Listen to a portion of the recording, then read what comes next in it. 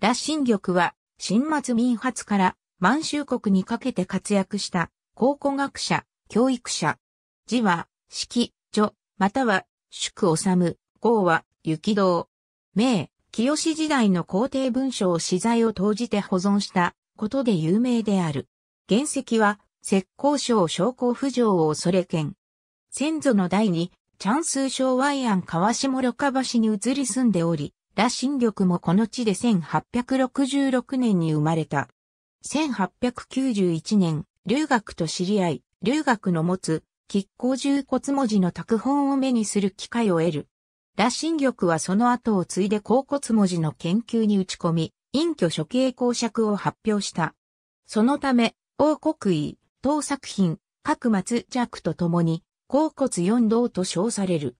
甲骨文字研究以外では、敦工学の分野にも大きな役割を果たしている。1909年、敦煌文献を獲得したポール・ペリオと会い、まだ残されているものがあると知ると、敦煌から残りのものを北京に運ばせて、警視図書館に収蔵させた。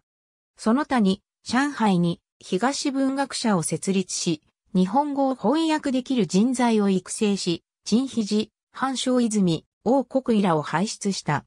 また、資金城に保存されていた民進時代の弾案が古紙として処分されそうになっているのを知り、急いで古紙業者から買い戻し、貴重な歴史資料が失われるのを防いだ。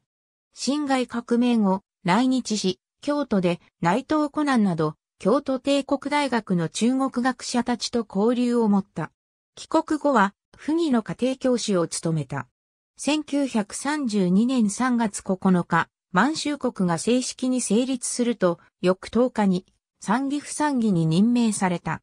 後に、日満文化協会会長も務めている。皇帝文書の保存という功績がある一方で、満州国建国に関わったこともあり、現在の中国では人物的評価が分かれている。ありがとうございます。